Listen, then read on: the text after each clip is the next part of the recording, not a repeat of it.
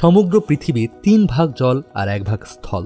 তবে এই স্থল ও জলভাগের বন্টন সর্বদা সুষমভাবে হয় না বা মানুষের চাহিদা মতো হয় না। একদিকে যেমন জলভাগের উপর সেতু তৈরি হয়, অপরদিকে স্থলভাগ কেটে জলভাগে রূপান্তর দেওয়া হয়। এই জলভাগকে কৃত্রিম জলভাগ হিসেবে গণনা করা হয়। অধিকাংশ সময়ই অর্থনৈতিক উদ্দেশ্যকে সামনে রেখে এই ধরনের প্রকল্পকে গ্রহণ করা হয়। এ ধরনের বৃহৎ প্রকল্পের অন্যতম প্রকৃষ্ট উদাহরণ হল সুয়েজ খাল ও পানামা খাল। তবে বাণিজ্যিক ও অর্থনৈতিক দিক থেকে পানামা খালের গুরুত্ব ও তাৎপর্য সুয়েজ খালের থেকেও অনেক উপরে। তাই আমাদের আজকের এই ভিডিওতে পানামা খাল সম্পর্কে বিস্ময়কর কিছু তথ্য আপনাদেরকে জানাব। তাই ভিডিওটি শেষ পর্যন্ত দেখবেন। আর আপনারা যারা আমাদের চ্যানেলে নতুন, তারা অবশ্যই চ্যানেলটিকে সাবস্ক্রাইব করে নিন। পানামা খালকে কেন্দ্র করে শুধু অর্থনৈতিক কারণেই আবর্তিত হয়নি, বরং অনেকাংশে বিশ্ব রাজনীতিও একে কেন্দ্র করে আবর্তিত হয়েছে। তাই অর্থনৈতিক, রাজনৈতিক, বাণিজ্যিক দিক দিয়ে পানামা খালের গুরুত্ব অত্যন্ত উপরে। আমেরিকা মহাদেশ আবিষ্কার হওয়ার পর থেকেই এই অঞ্চলে পর্তুগিজ, স্প্যানিশ, ফরাসি, ইংরেজ ও ডাচরা গমন করতে থাকে, পাশাপাশি বাণিজ্য সম্প্রসারণ করতে থাকে। ফলে এই অঞ্চলে যখন ইউরোপীয়দের বাণিজ্য গড়ে ওঠে, তখন এই অঞ্চলে চলাচলের জন্য ও মাল পরিবহনের জন্য দক্ষিণ আমেরিকার বহু পথ ঘুরে উত্তর আমেরিকার উপকূলে যেতে হতো। তাই এই দীর্ঘ পথকে সংক্ষিপ্ত করার জন্য চিন্তা করা শুরু করা হয়।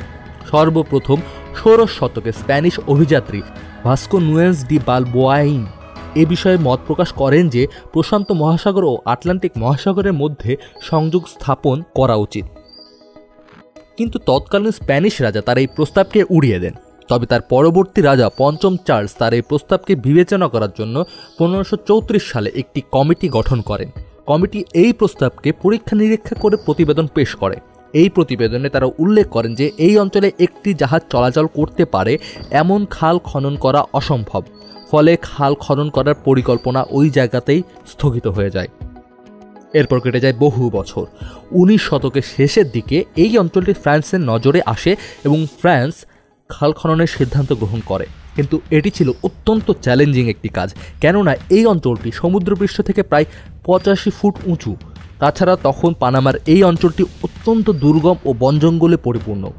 সকল প্রতিবন্ধকতা সত্ত্বেও আঠারোশো একাশি সালে ফ্রান্স পানামা খাল খননের কাজ শুরু করে। কিন্তু কারিগরি দক্ষতার অভাব, প্রাকৃতিক প্রতিকূলতা, শ্রমিকদের উচ্চ মৃত্যুহার প্রভৃতি কারণে ফ্রান্স খাল খনন কাজ করতে বাধ্য হয়।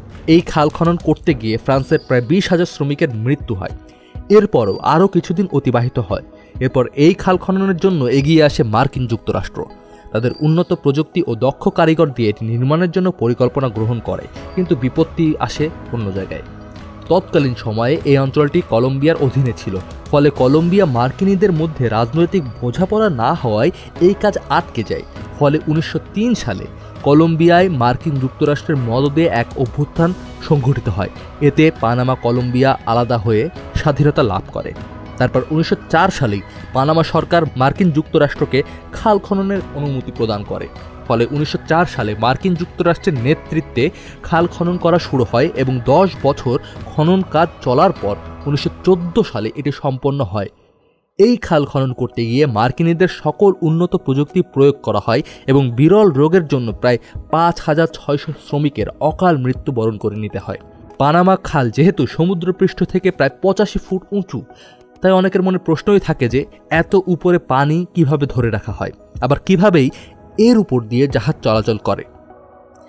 এখানকার পানি ধরে রাখা থেকে শুরু করে জাহাজ চলাচল পর্যন্ত সকল প্রক্রিয়ায় কৃত্রিমভাবে নিয়ন্ত্রণ করা হয়। পানামা খালে মোট তিন জোড়া জল কপাট রয়েছে, যেগুলো পানামা খালকে সমুদ্রপৃষ্ঠ থেকে ধাপে ধাপে পঁচাশি ফুট উপর পর্যন্ত তুলে দিয়েছে। জলকপাটগুলো দুইটি ধাতব কবজের দ্বারা তৈরি। প্রতিটি কবজা সাত ফুট মোটা এবং অবস্থান অনুযায়ী সাতচল্লিশ ফুট থেকে বিরাশি ফুট পর্যন্ত উঁচু।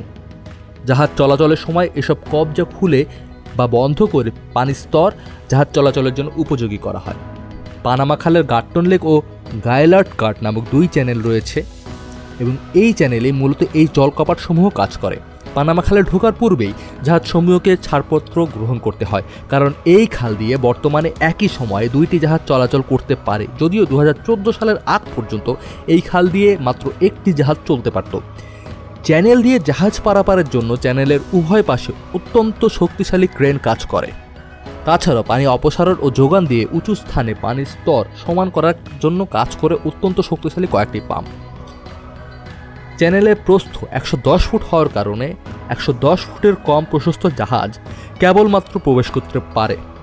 তবে একশো দশ ফুটের বেশি চওড়া জাহাজের পরিমাণ খুবই কম।